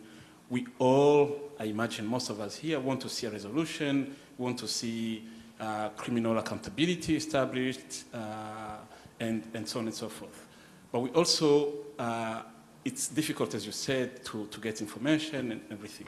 But can you, with the information that you have and uh, the passion that you have, uh, can you dispassionately sort of uh, come up with two or three possible scenarios. Uh, how will Syria be in the next two, three years, or in the next sort of 10 years? What are the key challenges that we're going to have? Uh, Assad might go, will go at some point, and what are the key sort of, uh, the, the, most sort of difficult sort of scenarios that you see uh, drawing themselves in the next uh, two to three years, but also in the mid and long term. Um, and uh, the, the, other small question for, for Dr. Burns. Um, the president of, um, uh, no, not the president, the Secretary General of the UN recently said that uh, developed countries need to increase the, the uh, intake of refugees. Uh, and that is just one of the, the, the, the solutions or the, some of the, ways of alleviating the suffering of the Syrian refugees who are uh, uh, in big numbers in those neighboring countries. From uh, your sort of a DFAT um, diplomatic sort of experience, why is it that Australia cannot increase its, its, its, its intake, knowing what we know uh, now or what we've even known since the war sort of began. Yeah? Um, and then uh, the, the, the, third small question again to Malek, uh, it's pretty much related to the, the, question that I had. It's on, uh, you know, with, uh, you know, you, you, you've got your own president who has a particular position on Syria. You've got the EU countries that keep sort of changing their positions. Uh, you've got Russia, and we are in a multipolar world. Uh, this is back again to the question you two can sort of take that question on uh, empathy but also response. Uh, the French president just four days ago said that he's no longer having as one of the possible scenarios uh, a post-war political dispensation without uh, Assad because he has not seen any sort of alternative, quote unquote. And for many people, many people were, were, were discouraged by that. They were uh, surprised, surprised by that. Uh, if you could sort of comment on, uh, on that uh, in relation to the question that the first person sort of asked about the role of institutions. I'm asking the role of countries that traditionally are the ones that have power to intervene and, um, and stop the carnage. Thank you. Thank you. So I think that's ended our question time from the point of view of questions. So um, if I can ask each of our speakers to comment briefly um, in answer to those two questions. Thanks. Sure. Do you want me? Oh, I only got a very small question. So that was the one about... Um, Re refugees? Is that working? No, you use this one. It's okay. The, the question was about refugees. I mean, it's 13 years since I worked for the government. Um, all I can go on is what the government says about why they why they've limited the intake of Syrian refugees. I mean, it's basically because the processing of uh, the security um, processing is so long these days, and they've limited it to 12,000, which is probably all that can be handled, you know, in a reasonable amount of time. That's, that's all I know. But I mean, let's not forget that uh, we at least have a decent process for processing people. Um, and we have to do. Did you say decent? Sorry. I did say decent. Is that wrong with me? okay, well, we have an organised process. Organised for, okay, would you like to give a talk or should I continue? Anyway, it's not my responsibility, but I'm not, I'm not ducking it. But I would say that we, we have an intake which is much bigger than the American intake. Uh, it's smaller than the Canadian intake, but you know it's certainly not minuscule, and it's probably a reasonable estimate of what we can handle for the next few years. Um, and you know, I think that's that's the only way in which one one can approach it. Um, sorry, was there? Some other aspect that I had to I comment there on? May I, okay. may I take a chair's privilege for a minute? Or yeah, the, sure. Or yeah. The, the, the, what am I? Moderator's privilege. um, while each of you is answering, because we won't have time for more questions, I wanted to ask each of you also to just say, hmm, a, like a point, not, rather than a whole sentence or. Yeah, sure. Um, um, discussion. But just like, what if there's one thing that you would think that people that um, could be done right now to support, or what is the most important thing to support some kind of peaceful resolution moving forward? Okay. Because the challenge at the moment is, yes, we would like to see the end. We would like to see the end to the humanitarian things going on. But just one thing which might be about how you might see that people in the room could do or be or feel or how somebody could be acting. So the, the very quick version of that. And if you want to go first, or do you want to come back? No, I'll do it now, Yep, yeah. Excellent. Um, okay. That, that was one thing that was frustrating me this evening. We didn't have much consideration of what the future might be.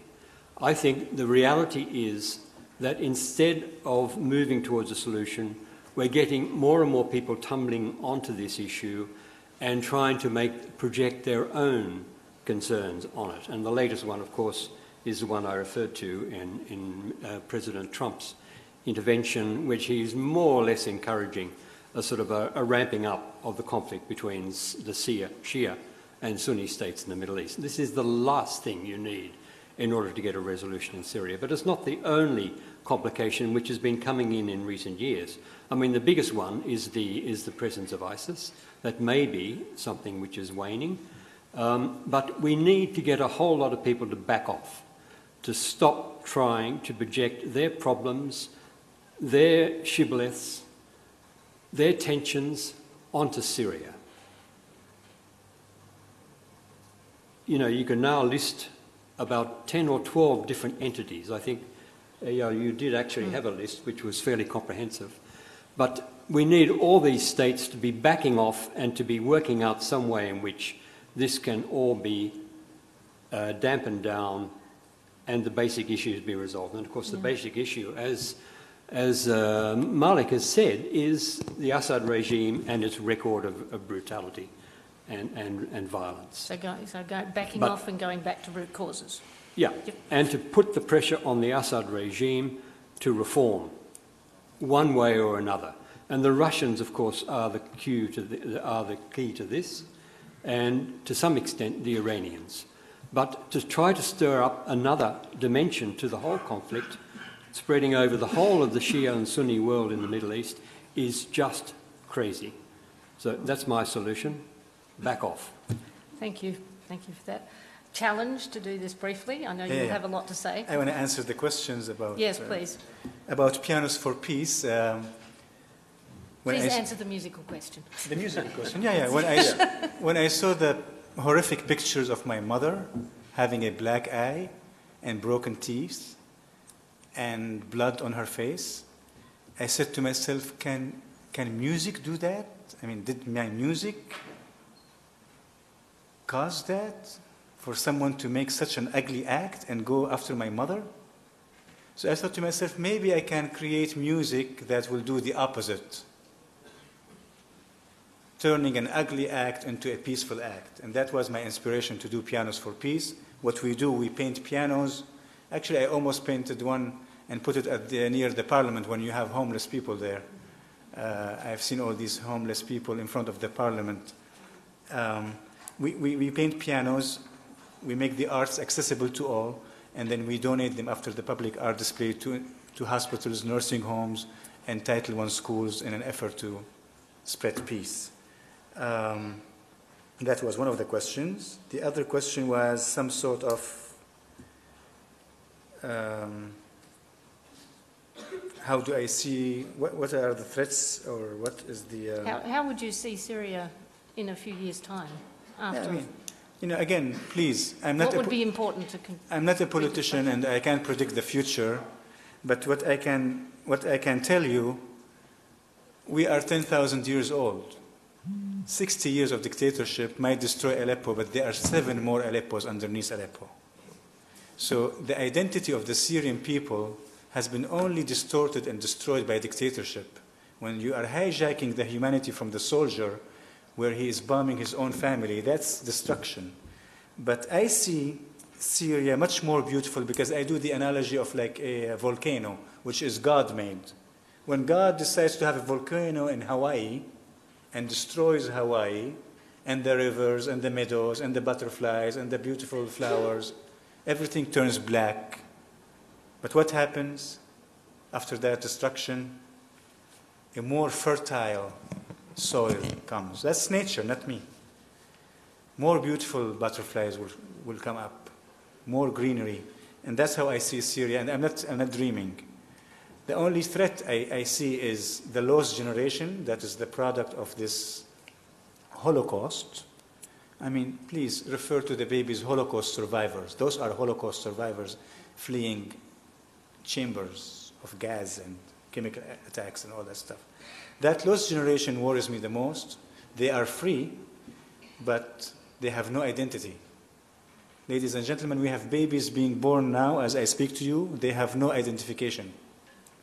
Okay, what is the future of that baby? He's now five, six years old. Millions of them. To me, that's a dangerous formula for all the symptoms that we discuss. I don't want to even say it. And, and the response to lock people in concentration camps on an island or in Guantanamo or in Syria or in Palestine is not the solution. Concentration camps are not the solution. And I had the honor to meet uh, Vanessa Redgrave at the Sydney Film Festival. And um, she said that the Australian government, it's not me I'm quoting, is illegal. And I just ended there.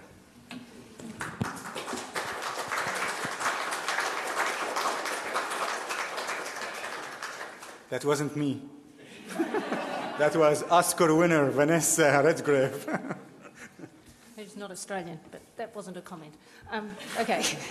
um, hey, Um, okay, so I'm not sure what I'm supposed to be answering exactly, but there's a few comments that I did want to make. Is one is that um, we vote when we vote uh, our politicians in. We, and when I say we, I mean most people vote them in on domestic issues, not on foreign, not on what is happening far away in, in not well-known parts of the world. And, and that's a big problem. Um, I think the Syrian conflict is a very difficult case of what we call peace versus justice. It's a situation where a dictator remains in power and then what do you, how do you prioritize? Do you prioritize justice or do you prioritize peace? Because real peace is peace with justice. But, but until then and until things change, what do you do? And I think Malek has brought a very, very problematic issue up on, into the surface, which unfortunately I don't have great answers for. What you prioritize, peace or justice at this point in relation to Syria? Uh, what we can do, I think, is start at home, start little, start around us. Fight racism wherever we see it, because the people in Syria have their dignity, but people around us, whether they're refugee or whether they're minorities, also have their dignity. And I think this is very important to understand that a democracy, one of the main yardsticks to, to test democracy is how it treats, how it treats its minorities. So this is something we can all, all do at every day in our lives. Um, I think uh, an example with Trump and the missiles just recently with the chemical weapon is a classic example how governments can, can fool us because, oh, we bombed, we bombed Assad and that's it, we can go home, we feel good about, about ourselves. And how governments are treating us a lot of the time is by selling us rhetoric and selling us half measure uh, actions to pacify our consciousness, or sorry, consciousness. So this is something again that can be done is by not letting uh, elected politicians get away with with doing things that are not really helping. So uh, I don't, again, don't have magic bullet solutions for Syria. I think uh, military action is never the answer. It's always about uh, diplomatic and political solutions. So I, on very rare occasions, safe zones or no-fly zones can be very helpful in saving lives. Whether or not this is something that can apply to Syria uh, is something that is certainly worth uh, discussion. Thank you. Thank you. And thank you for bringing us back to reminding us that the war is not the answer in that sense. And that one thing we've, learned tonight from everybody, and we already know, but that all sides, and I say sides, meaning everybody is suffering in Syria. Even I think Assad was Syrian, if I correct me if I'm wrong, but everybody in that sense is suffering. Everybody at some level is um, um, contributing in different ways. Yeah, so I'm not meaning to say undermine that there are victims, but what happens is that over time in a conflict, that people who are victims become perpetrators as well, and the conflict becomes so much more complex to try to resolve because people have, have got caught up in um, the fears, the, sorry, have got caught up in the fears, the blame, the threat, the defence, and that kind of dynamic that keeps a conflict appearing to be intractable is what we need to break in, in relation to Syria. So, how can we all do that? And I think one of the things you said was bringing it back home in terms of tackling racism, for example. It's like, how do we each individually and, and in what we um, stand for um, help to bring unity, as, as Malek was saying before? How do we help to bring unity in our and, and a peaceful approach to whatever we do. I could say a lot more as, a, as somebody who um, believes in the peaceful resolution of conflict, and yet that challenge of what's going on right now um, in relation to um, the choices that have to be made. And I think Al also said that earlier about compromise that might not look like, you know, we can't always get a win win, we can't always get um, uh, the win win that we might want, but we can try to avoid the worst of the lose lose by thinking about maybe there's some kind of compromises that have to be made that hurt, that may be able to move things forward to get to some kind of peaceful place where justice can then be pursued. Okay, that's my roundup. Thank you. Thank you very much.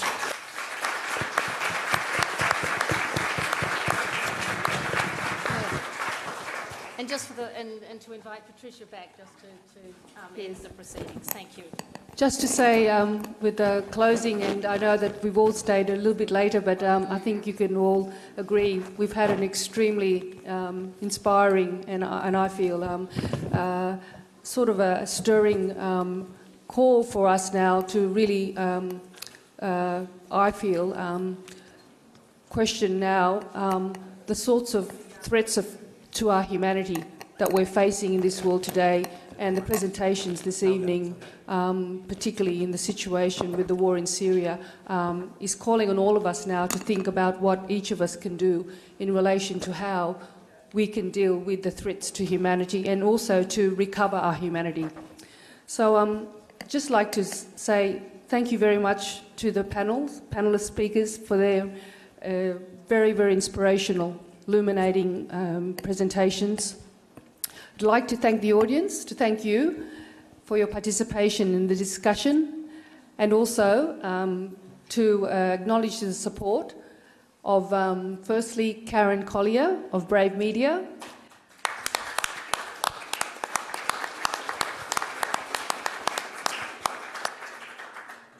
And also, the panels has been supported by the Council for Peace with Justice, the Near Eastern Archaeology Foundation at the University of Sydney, and thanks again to Sydney Ideas.